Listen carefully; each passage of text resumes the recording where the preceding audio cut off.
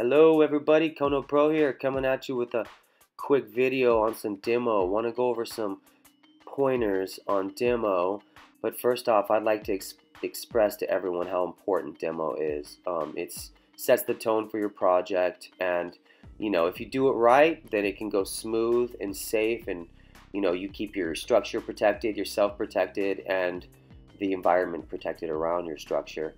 And so, you know, people think they can just come in and slam walls down and do this and do that and break things, get all crazy. You know, once you have yourself, you know, all the safety pointers taken care of and everything's all ready to rock, then yeah, you can. You can go in there and demo and stuff. But if you do it in a controlled way, it can be done really fast, efficiently, and um, safely. Okay? So first pointer I'd like to go over is your electrical. All right, what I'm doing right now is I, I went through to that sub panel and I turned off all of the breakers. I left one dedicated breaker um, on in the kitchen. Now I'm going through to verify that there's no other plugs tied into that breaker and uh, make sure all my plugs are dead and all my light switches and everything else. They're, they're all, I checked it earlier, they're all dead. There's no power. You know, verifying everything. So that's the first step. First step is power. Make sure that you isolate one plug so you can run all your, your extension cords from that one plug, but you don't want to overload that plug either. So be careful with what you're doing with that plug. Um, run your power from there, power saws, whatever you're doing, and from that plug. And that way, when you demo everything, you keep the structure safe by not having you know live wires while you're smashing through walls.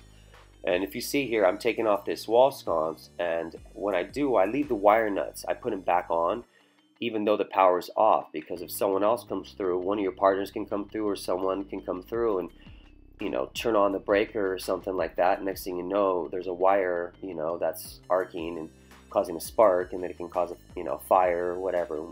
You don't need that issue. Nobody does. So I always like to just double check make sure I keep it safe and just put the wire nuts back on there.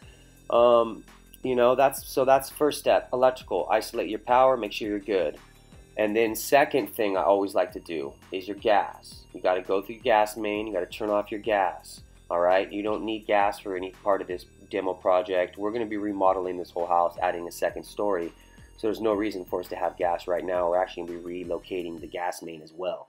So um, we're cool on gas. We just we, we you know we ter terminated the gas to the house, so there's no gas running in the house. So gas is dealt with. That's number two on the checklist. Number three let's check out plumbing. All right, so you can go and you. What I like to do is I get my plumber out and I have him turn off, basically disconnect everything underneath the house and leave like one hose bib connected. I tell him leave, you know, leave one hose bib connected outside, so that way I can have access to water on the on the property while I'm doing work. If I need, you know, water for dust control or water for you know any of my tools or whatever it is for cleanup, basically through the whole job, then you want to have one water point. You don't want to terminate all your water to the project. So, but you basically want to have, you know, no water in the pipes that are in the structure that you're going to be demoing on, okay? So that's so that's number three, right? Plumbing. So make sure you isolate plumbing, make sure you terminate water, and then you can turn on everything so all the water will drain out your pipes. And then that way you know when you do demo and you hit a line or something, you're not going to worry about crazy water splashing everywhere, right? All right. And then so then what else we got to worry about is is basically safety then that's that's actually number one thing. That's the first thing. So I always recommend you wear a respirator, you wear a full body suit um, with a hard hat, of course, eye protection, ear protection if you're using power tools. Um, there's even a thing called a sock that you can put on um, over your head before you put on your full body suit, and I recommend that too because that protects your neck from getting dust and debris on it. And when you're, you know, pulling down these ceilings and it has this old blown-in insulation and years and years and years of dust, you don't want to be breathing that in. So you want to protect your clothes, you want to protect your body, you want to protect your lungs. So always wear a mask, eye protection, gloves, full body suit, hard hat, whatever you can do to protect yourself and your workers, please do it, okay? And um, you know, and then after that, just rock and roll. And then after that, you can sort of figure out you know, the process of the demo, how you're going to do it. You know, come into the structure, look at it, be like, okay, I got electrical isolated, I got plumbing isolated, I got gas isolated, I got safety locked down, we're ready to rock. Then you can start looking at the structure, like right here, I'm taking off all the casing. So I'm going to go through, take off all my wood trim, basically all your base, case, um, crown moldings, any kind of wooden built-ins, cabinets, um, things like that, basically finished work. Take out the doors, the door jambs. Um, you can cut those door jambs in half with a sawzall and they'll just pop right out. Um, once you do all that, then you can start rocking on, let's say, take down, then once you have all the wood down, then you can start doing the lath and plaster. So you put this pro the process in your mind of how you're going to do it, and then you execute it that way right? And then it goes through a lot smoother. Everything's everything's awesome. You'll you'll start working and everything will be going really smooth. And so what I'm going to do basically here is I'm going to be, you know, removing all of this lath and plaster, gutting the whole interior of this house because we're going to be adding a second story and I need to expose all the framing. We're going to be um, removing walls and stuff like that. But I need to basically open up everything and see what I'm working with. And not only that, I want to upgrade the structure and install some insulation you know so we're going to be insulating the whole whole property too. So that's another reason why we need to gut all the walls. And these walls are um, old beadboard um, with plaster on it. And when I say beadboard you know that might not be the exact technical term for it but it's like basically half inch drywall um, that they may had back in the day and it had a bunch of holes drilled in it and then they add plaster and basically trowel on the plaster over it and that is really thick, heavy duty interior plaster, it's basically like a cement. You can't even like screw into it or hang pictures. I mean, it's a bummer. So, you know, I always, if, if it needs to come down, you need to insulate the home and it's worth it to do it, then great. So that's what we're going to be doing on this project. And you'll see here in a little bit, you're going to see me getting crazy with the sledgehammer. And um, as far as tools go, I recommend a flat bar, um, you know, framing hammer, sledgehammer, you know, a little mini sledgehammer, and a little cool little um, pickaxe. If you have a big pickaxe, cool, because you'll find out that pickaxe, when you use a pickaxe to like remove the lath and plaster, it's amazing. It, it really helps you out. I have a little mini pickaxe that I'm going to be using, and it works great. And um, also, too, make sure waste management, trash. You go over, you figure out, you, you figure out the process of trash. Like this property um, in particular has um, you know multi-dwelling structure in the back that um, they, they need to be going in and out of the parking lot. There's no really room for me to drop off a 40 yard dumpster. So what I'm going to have to do is bag everything. So I'm going to put everything in bags. And what's cool about that is that I can just call the dumpster one day and then I can just basically have everything bagged in the house, you know, piles in each room. And then I can have them, you know, stationed right next to the windows or the doors and then just wheelbarrow it all out to the dumpster. Have the dumpster dropped off one day and I can just load it up in about four hours and then have the dumpster pulled out of there. And then all my trash is out of there in a day. By bagging it, it makes it a lot more convenient. It keeps the dust down for your neighbors. Um, and it's a lot it's a lot safer to work in a cleaner environment when you bag everything. And then if you don't get all the trash out of there and you decide not to have a huge dumpster, you can you know you can make multiple trips to the to the dump with your little pickup truck or whatever you have if you have everything bagged. It's a lot easier to get rid of. A lot of people say just get a dumpster and drop it off and throw the trash in sometimes it doesn't work like that you know? If you have a tight location and tight areas where you can't really do that then you have to figure out what you're going to do with the trash. Um, you know that's another part of demo. So all right, everybody. I hope you all, you know, enjoy this video and you know learn some stuff from it and gain a little knowledge as far as demo goes. Um, you see how I'm rocking with that pickaxe right there? If you get a little hole in it, like I cut a line with my sledgehammer, with my sledgehammer basically across and made that, that uh, horizontal line, and then I got my pickaxe in there, and then you can pry it basically against the framing and then just pop it out. You see that? Put it against the framing, pop it out. Boom. Big pieces will come out big chunks it's killer. The bigger the pieces, the easier it is for you to bag it and and get rid of it. All right, everybody. Um, you know, I, I, I hope I hope this video helps you all. Hope hope it you know gives you a little bit of knowledge. Like I said again, I hope I'm not being redundant. But um, please subscribe if you haven't subscribed. We'd appreciate that.